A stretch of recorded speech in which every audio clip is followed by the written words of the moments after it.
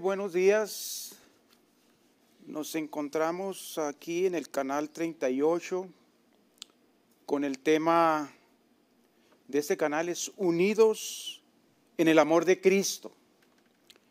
Les damos muchas gracias por sontinuzarse en este canal y por abrir, abrir las puertas de sus hogares. Estamos muy contentos y queremos darle las gracias a todos estos televidentes. Les pedimos que, que por favor, si usted tiene el deseo de hacer donativos, los puede hacer a este canal. Y si usted es de la ciudad de Juárez, hay tres locales donde usted puede contribuir una donación para este canal. Acuérdense que este canal de eso se sostiene, de donaciones. Lo puede hacer libremente en la librería cristiana Maná. La otra librería es la Semilla Bookstore. Y para concluir es la joyería Alex. Este, en esta mañana traemos un tema muy hermoso y se trata de la paz. Nuestro tema, nuestro tópico de esta mañana es la paz. La paz que podemos obtener por medio de la enseñanza, de la escritura y de la fe que podemos depositar en Dios. Ah, nosotros venimos de una iglesia que se llama Ebenezer, donde nuestro pastor se llama Fernando Monreal. Y tenemos unas reuniones los domingos que viene siendo de las 11 de la mañana a la 1 p.m. Y tenemos también los varones una reunión de café matutino que es cada segundo sábado de cada mes. Las, las mujeres tienen su sesión de estudio. Es los miércoles, todos los miércoles de la semana, que viene siendo de las doce y media a una y media. Servicios para jóvenes es cada tercer sábado del mes, de las 6.30 a las 8 pm estos servicios se van a conducir en inglés. Para obtener más información, les pediría que le hablaran al, pastor Monreal. El número de su teléfono es el 915-820-1765. Y hay otro teléfono que es el 915-478-2121. En esta mañana tenemos como presentadores del discurso que vamos a tener, del diálogo que vamos a hacer, es el pastor Fernando Monreal y nuestro hermano Esteban Monreal. Que Dios les bendiga, mis hermanos, bendiciones. Y le voy a pedir a, antes de empezar, le voy a pedir a mi hermano Fernando que nos ponga en una oración para para empezar este diálogo de la paz que, que podemos experimentar a través de la palabra de Dios. Bendito Dios, Juan Padre Celestial, vinimos ante su presencia pidiendo que nos ayudes a poder exponer los pensamientos que pusiste en nuestra mente para poder ser eficaz y que podamos hacer de bendición en esta plática para las personas que están sintonadas esto te lo pedimos en el nombre de nuestro Señor Jesucristo. Amén. Hermano Esteban. Cuando estamos hablando de, la paz, se me vino a la mente cuando hace unos 14, 15 años, cuando estaba en cuidados intensivos. Estaba cuidando a, un paciente, hermano, y, y me impactó mucho cuando estamos hablando, eh, ayer que estamos hablando y esta mañana me impactó mucho este paciente porque estaba bien enfermo. Ah, ya estaba en sus últimos momentos de vida. Y yo recuerdo que había en él una paz, hermano. Y, y lo que él tenía era muy doloroso, pero él no expresaba eso. Me dice, Esteban, yo quiero que me hagas un favor, quiero que les digas a mis hijos algo. Y le digo, sí, ¿cómo no? ¿Qué quiere que yo le diga a, a sus hijos? Me dice, quiero que les digas, por favor, que siempre sonrían a la vida. En ese momento terminé mis servicios con él. Ah, recuerdo que salí del cuarto a agarrar unas cosas que necesitaba cuando llegué. el paciente ya se había fallecido. Vinieron sus hijos, les hablé y les dije, sabes que su papá ya falleció. Pero me dio un mensaje para ustedes. Me dijo que les dijera que siempre sonrieran a la vida. Al decirles estos comenzaron a llorar, hermanos. Y, me dijo, y vino su hija, dice, por favor, Esteban, dile a, mi hermana lo que, lo que dijo mi papá, sus últimas palabras. Y le dije, tu papá me dijo que te dijera que sonrieras siempre a la vida. Cuando ellos comenzaron a llorar, me dijeron, Esteban, en cada problema que siempre nosotros nos enfrentábamos, no importa qué gravedad que era, él siempre nos decía eso, mi hijo siempre sonría la vida. Y ahorita que estamos hablando de la paz, es lo que nuestro Señor Jesucristo nos dice a nosotros, hermano, que aunque estemos pasando por dificultades, por luchas, por pruebas, Él nos dijo, os paz os dejo, no como el mundo la da. Muchas veces los que no conocen a Jesucristo como su Salvador no pueden entender una paz. Pasamos por dificultades, cada uno de nosotros hemos pasado por luchas, por pruebas, pérdida de nuestra familia. Pero en sí nosotros hay una paz, una tranquilidad que solamente Él nos puede dar. Aquí hay unas estadísticas que, que traje para nuestros oyentes. Aquí en Estados Unidos se sufre bastante de la ansiedad. Aproximadamente hay, afecta 6.8 millones de personas, que viene siendo aproximadamente a 3.1 porcentaje de nuestra propiedad. Es difícil cuando la ansiedad entra y, nos roba la paz. Y cuando estaba estudiando miraba que les afecta dos veces más a las mujeres que a los hombres. La semana pasada estuvimos hablando, se recuerda, hermano, de Abraham, ¿dónde estás? Amén. Y muchas veces, Adán, ¿dónde estás? Y muchas veces la ansiedad cuando no está el hombre les afecta a nuestras mujeres. Otra cosa que miré también que disturbe la paz, la depresión. Y muchas veces nos deprimimos de una manera tremenda. En, en, 200, en 2020 se estimina que había de 14 mil millones de personas de edad de 18 años más que sufrió una époso de una depresión grave. Amén. Estamos en un mundo tan difícil ahorita. Estamos viviendo tiempos tan desagradables que nos está afectando la ansiedad, nos está afectando la depresión, y parece como que todos están diciendo, ¿dónde está la paz? Me gustó el comentario que, nos dijo hace temprano, hermano, cuando estamos hablando, ¿verdad? Que, dices, ¿quieres paz? Prepárate para una guerra. Porque la paz, si la queremos tener, tenemos que siempre estar en la defensa. Pastor, usted ha estado en el ministerio por muchos años, yo creo, ¿verdad? Y, yo le he mirado en, entre su ministerio. ¿Nos puede decir a lo menos cinco áreas que usted ha visto que ha molestado o que ha quitado, que se ha robado la paz en los creyentes? Una de las cosas que yo veo que roba la paz uh, al ser humano, ya sea un adolescente, ya sea un joven o una persona mayor de edad, porque la paz la puede experimentar cualquier persona, ya sea hombre o mujer. Una de ellas es el estrés, pero mayormente yo veo que es a lo desconocido.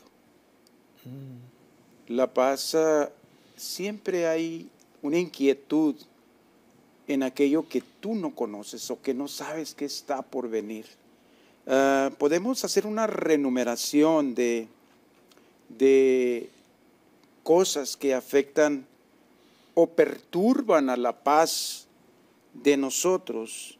Y podemos ver nosotros ahí en 2 de Corintios, el capítulo 5, verso 17, dice, de modo que si alguno está en Cristo, nueva criatura es, las cosas viejas pasaron, he aquí, todas las que vienen son hechas nuevas. Entonces yo veo, ¿verdad?, que aquel que no ha tenido ese encuentro con Dios, con su Señor Jesucristo, una de las cosas que afecta o es una inquietud en el corazón del hombre, y como usted decía, va a llegar un tiempo determinado de nosotros donde nosotros tenemos que dejar, si es que Dios no viene por nosotros, vamos a dejar de vivir. Porque la Biblia dice que a unos 70, 80 veces los vivimos con dificultad. Yo he visto que hay hombres que viven 100 años, pero lo más probable es que dejemos de existir. Y eso en algunas personas los consume porque, ¿qué es? Eso después de que nosotros nos vayamos. Es algo desconocido. Pero aquel que ha experimentado la salvación en su vida, que ha tenido un encuentro con Dios, que sabe que la promesa de Dios es eficaz y eficiente porque Dios no miente, Dios lo que promete lo lleva a cabo. Y si Dios dice que a través de lo que Cristo hizo en la cruz, ese sacrificio, Él puede perdonar todas nuestras deudas, nos justifica delante de Dios. Y antes éramos enemigos de Dios por causa del pecado, pero ahora somos amigos, amados, somos adoptos hijos en aquel que se dio por nosotros, que es Cristo Jesús. So, yo puedo decir con toda seguridad, y la seguridad es una de las cosas que trae la paz. Amén. Cuando usted está seguro de, de que el día de mañana está ahí Dios para ayudarlo, entonces usted tiene paz en su corazón. Entonces vemos nosotros que cuando usted, eh, si usted es una nueva criatura en Cristo, puede experimentar esa paz. Y usted dice, entonces el conocimiento de las escrituras nos puede traer paz, nos puede traer paz a nuestro corazón. Claro que sí, porque yo veo, ¿verdad? El tiempo que estamos viviendo hoy en nuestro día es un tiempo difícil. Es un tiempo bien difícil, hermano, donde, donde yo veo, ¿verdad? Que la maldad se ha numerado en grandes cantidades. Entonces eso a mí no me quita a mí el sueño, porque yo sé ya de antemano que las cosas se van a poner peor. Y usted dice, entonces, ¿cuál es la necesidad de orar? Dios lo manda. Y debemos de orar para que las cosas estén mejor. Así es, hermano. Y luego usted me dice, ¿por qué? Porque Él lo, es, lo, lo designó así, Él lo quiere de esa manera. Él quiere que oremos por nuestros representantes, por nuestros presidentes, por nuestros gobernadores, y debemos de hacerlo así, aunque la Biblia nos enseña que va a ir de peor en peor. Entonces vemos nosotros, ¿ya?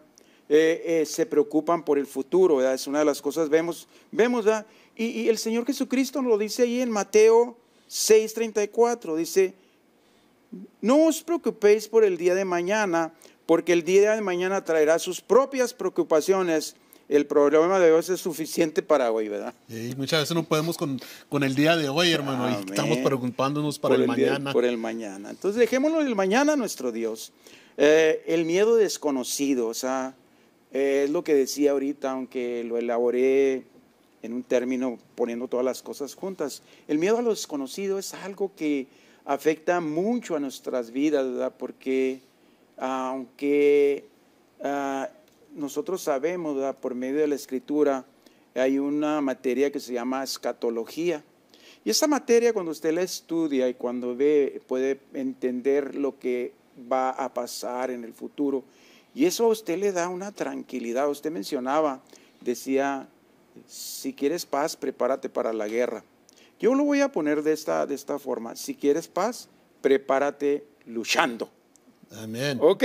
¿Por qué razón luchando? La oración es un, es un ingrediente que trae paz a nuestras vidas. La lectura de la palabra es un ingrediente. Cuando nosotros aprendemos la palabra, trae paz a nuestras vidas. Cuando yo veo ese precioso texto que se encuentra en la Biblia, yo te tengo en tus manos. O sea, ¿no se sentiría muy seguro en las Claro manos que de sí, Dios? claro que sí. Claro que sí. Entonces podemos ver nosotros ahí en Primera de Pedro 5, 7. Dice, dice de esta forma, ¿verdad? Porque eh, lo desconocido trae ansiedad, hermano. Usted daba un informe sobre las cosas que están pasando en este, en este mundo y la ansiedad es una de ellas. Pero ansiedad a qué? A lo desconocido. ¿Qué va a pasar el día de mañana? Hermanos, confiemos en nuestro Dios. ¿Sabe qué, hermano? An- Antes de que diga este texto, yo recuerdo que a muchos de nuestros pacientes cuando van a, hacer un, un procedimiento, ¿verdad? les entra una ansiedad porque no saben lo que va a suceder. Y como enfermero muchas veces tenemos que estar explicándoles, mira, va a pasar esto, va a pasar el otro, vamos a estar aquí después que termines. Y muchas veces esa ansiedad se comienza a bajar. Son otras palabras. Cuando yo miro eso, Jesucristo sabe lo que nos va a suceder. Y en ocasiones, hermanos, cuando oramos, le estamos pidiendo al Señor, ayúdame, Señor. Y Él nos, nos enseña en su palabra, yo voy a estar contigo todos los días hasta el fin del mundo. Y en ocasiones cuando estamos pasando por ese programa tan difícil, ¿verdad? Yo, yo, yo lo agarro de esa manera que Jesucristo es mi enfermero y me dice, Esteban, todo va a estar bien. Esteban, tengo todo planeado para ti. Mira, ¿estás pasando por esta época?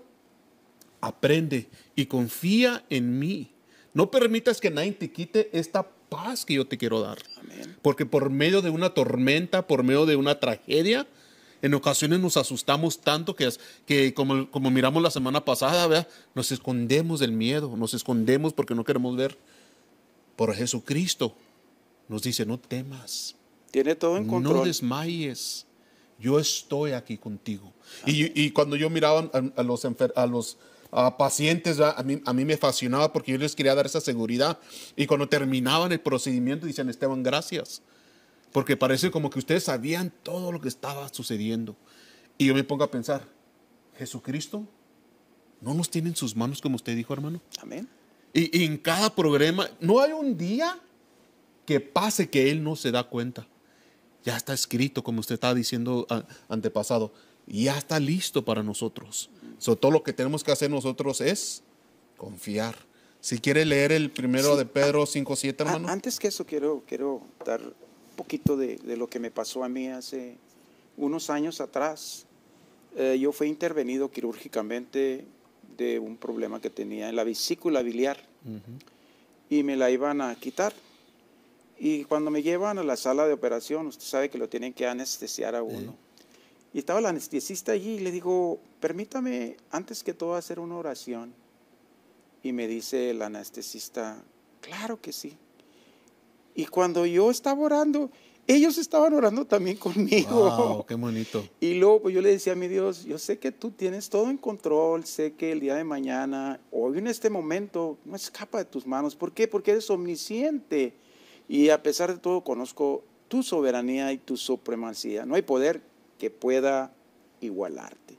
Yo me pongo en tus manos y te doy gracias por lo bueno y maravilloso que eres. Y leyendo este texto, para pasarle el tiempo a mi hermano Fernando Pastor, dice ahí en primera de Pedro 5.7, echar toda vuestra ansiedad sobre Él, porque Él tiene cuidado de nosotros. Qué hermoso. Gloria a Dios, hermano Oiga, Fernando. Si eso, no se, si eso no es paz, hermano, no sé qué es paz. Cuando Él cuida de nosotros. Amén. Al estar meditando sobre qué es lo que nos quita la paz, también se me viene en mente, ¿verdad? Que muchas veces el pasado nos quita la paz. Los recuerdos ah, de angustia, de tal vez pruebas que hayan pasado. A veces nos alcanza el pasado y también nos puede quitar la paz. Así como dice nuestro hermano Pastor Gómez, preocuparse por el futuro también nos quita la paz. A lo desconocido, de igual manera, Esteban, Javier, nos quita la paz. Pero creo que también lo que nos quita la paz es, es un temor, es un miedo al envejecimiento, a hacernos viejos. Recuerdo a alguien que decía hace poco, cuando me salió mi primera cana, le hablaba a mi primo. Le decía, mira, ya me estoy haciendo viejo. Entonces creo que es una, un temor, un miedo, y también nos quita la paz el empezar a pensar qué es lo que va a pasar cuando mis fuerzas se acaben. ¿Qué es lo que va a pasar cuando las funciones de mi cuerpo comiencen a disminuir? Y lo estamos viendo cada uno de los que empezamos a tener una edad más avanzada. Podemos ver que nuestros movimientos gradualmente nos empiezan a fallar. Ya no somos los mismos, ya no podemos brincar tan recio, no podemos trabajar tan fuerte. Sin embargo, el temor al desconocido, como decía también el hermano Gómez, ¿qué va a pasar cuando yo sea viejo? Hoy en día, ¿verdad? Esta generación muchas veces, y con mucho respeto lo digo, ponen a los ancianitos en ciertos lugares y piensan que en esos lugares los se van a estar cuidando bien, pero al pensarlo yo, cierto temor entra, pero me abrazo, puedo ir a las Sagradas Escrituras como el salmista dijo en el Salmo 71.9. No me deseches cuando sea viejo, no me desampares cuando mis fuerzas se hayan ido. Puedo tener confianza que podemos clamar a este Dios, este Dios que no cambia, este Dios que todo conoce, que todo sabe, y podemos adquirir esa paz por medio del conocimiento de su palabra. Algo más que también me viene a la mente, mis hermanos Javier y Esteban, es que muchos tienen miedo, temor, horror a la muerte. Y creo que la muerte es inevitable. Y creo que la muerte quita a muchas personas la paz. Pero el salmista en el Salmo 23.4 nos dice, y podemos abrazar este versículo para cada uno de nosotros, y dice de este modo, aunque ande en valle de sombra de muerte, no temeré mal alguno, porque tú estarás conmigo. Tu vara y tu callado me consuelan. Entonces podemos ver que a través de la palabra de Dios podemos lograr esa paz interior. Hermano Esteban. Es muy bonito el, el, época que, nos están diciendo, hermanos, de, de, qué es lo que nos puede quitar la paz. Yo creo, para hablar poco de lo que usted dijo, hermano pastor, de la muerte. Hay muchas personas que le tienen terror a la muerte. Se les quita la paz. Y en esta tarde, si me estás oyendo, y si eso te está pasando a ti, te, te digo que sabes a dónde vas a ir. Porque si sabes dónde vas, tiene que sogararte esa paz. Y si tú sabes, dices, sabes que yo no, yo no he encontrado a Jesucristo como mi Salvador, yo no le he aceptado a Él. En esta tarde yo te pido que lo aceptes. Hace años atrás había una pestilencia muy grande que, que realmente mató a mucha gente. Estamos hablando allá en Inglaterra en, en 1800. Y lo voy a hacer corto porque ya tenemos un poco de tiempo, hermano. Si los doctores están haciendo sus uh, autopsias, las, mujeres están aliviando y iban a mirarlas en las tardes y se dieron cuenta que no se lavaban las manos. Y eso era el caso que había tanta muerte en, en las mujeres. Duraron 48 horas de vida. En ocasiones nosotros, hermanos, podemos realmente tapar esa paz. Porque si darnos cuenta, nosotros hacemos cosas que no son uh, perfectas ante el Señor o que no son aprobadas por el Señor. Por en Isaías 1.18 dice, ven luego decir y vamos a hacer cuentas. Y si vosotros estamos en pecados, serán como, uh, serán borrados. Y si están rojos como el carmesí, serán como blanca lana. Amén, aleluya. So, en ocasiones nosotros mismos tenemos que pedirle al Señor perdón, porque muchas veces nosotros mismos nos quitamos nuestra propia paz. Pastor. Uh, sí, este es un es una forma de tener paz en nuestro corazón. Y simplemente quiero dar un versículo de la Biblia, donde ahí en el Salmo 119, 165, dice, los que aman tu ley viven en completa paz. Amen. Dice, en completa paz, porque saben que no tropezarán. Amén. No caerán. Entonces vemos nosotros que vamos a amar la ley de nuestro Dios, vamos a amar sus santas escrituras, vamos a, a, a estudiarlas para que podamos nosotros presenciar esa paz en nuestro corazón. Y le doy el lugar aquí a mi hermano Fernando para que nos dé una conclusión. Creo que al estar uh, meditando en lo que estamos hablando, podemos uh, mirar que la paz no está basada en las buenas circunstancias, es dada y sostenida a pesar de las malas circunstancias. Juan 16:33 podemos leer que Jesús dice, estas cosas os he hablado para que en mí tengáis paz. En el mundo tendráis tribulación, aflicción, pero confiad, yo he vencido al mundo. En Romanos 12.2 nos dice que debemos de renovar nuestra manera de pensar, nuestra Amén. mente. Aleluya. Salmo 51.10 dice que debemos pedirle a Dios que crea un corazón nuevo y un espíritu nuevo delante de, nos- de Él. Si hay peticiones, que creo que hay muchas porque hemos estado hablando con varias personas, si hubiera tiempo pudiéramos hacer una oración por estas personas que están pasando por estas tribulaciones, estas pruebas, y para que ellos puedan también confiar en este Dios que nosotros mismos tenemos. Amén. Quisiera, quisiéramos una oración y nos despedimos. Amén. Gracias por sintonizarse en este canal y gracias por abrir sus corazones y estaremos en contacto y nos estaremos viendo. Simplemente nos despedimos con esta oración. Señor y Padre Celestial, te adoramos, te amamos, porque sabemos que podemos vivir en completa paz, Señor, porque hemos confiado en ti. Sabemos que tu escritura es la palabra tuya, Señor, y esta a nosotros nos alienta, Señor, aunque vamos caminando, Señor, en este valle, Señor, en este mundo, podemos estar confiados porque tú estás con nosotros, Señor bendito. Te alabamos, te bendecimos y te damos la gloria.